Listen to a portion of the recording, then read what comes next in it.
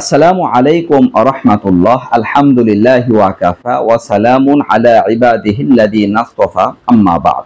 সুপ্রিয় দর্শক, শ্রোতা, ভাই ও বোনেরা, কাছের দূরে দেশ প্রবাসের যারা যেখান থেকে আজকের ভিডিওটি দেখতে আসছেন, সবাইকে অসংখ্য অসংখ্য ধন্যবাদ। দর্শক, আপনাদের সাথে আমি গুরুত্বপূর্ণ একটি আমল শেয়ার করব।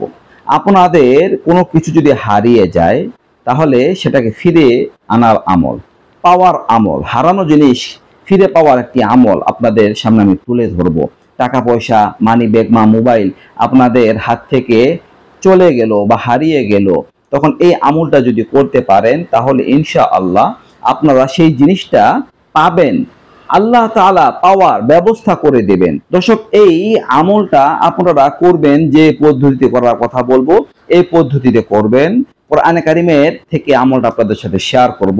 যখনই আপনাদের কোনো অবস্থা হারিয়ে যাবে, তখন সাথে সাথে আপনারা আউজ বিল্লাহি মিনাশ রাজিম, বিসমিল্লাহির রহমানির রহিম পড়ে একটা আয়াত পাঠ করবেন। ইন্না লিল্লাহি ওয়া ইন্না ইলাইহি রাজিউন। এই আয়াতটি আপনারা তিনবার অথবা সাতবার পড়বেন। দর্শক, পারলে এই আয়াত পড়ার আগে প্রথমত আপনারা দরুদ শরীফ পাঠ করে নেবেন একবার। কারণ দরুদ শরীফ পাঠ করলে আমলটা মজবুত হয়ে যায়। চাই পারলে এক দুবার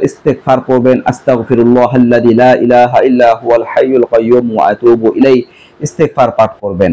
একবার পাঠ করে, এরপরে আপনারা ইন্না লিল্লাহি ওয়া ইন্না ইলাইহি এই আয়াতটি তিনবার অথবা সাতবার পাঠ করবেন।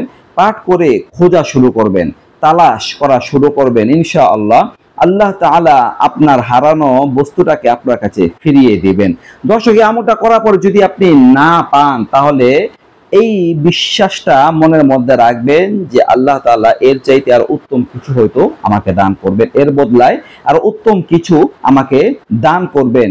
এই ইয়াকিনটা আপনার মনের মধ্যে রাখবেন ইনশাল্লাহ তাহলে দেখা যাবে আল্লাহ তালা আপনার জন্য উত্তম ফয়সলা করবেন।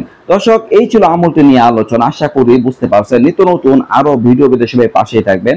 আজকে এই পর্যন্তই। আসসালামু আলাইকুম রহমতুল্লাহ।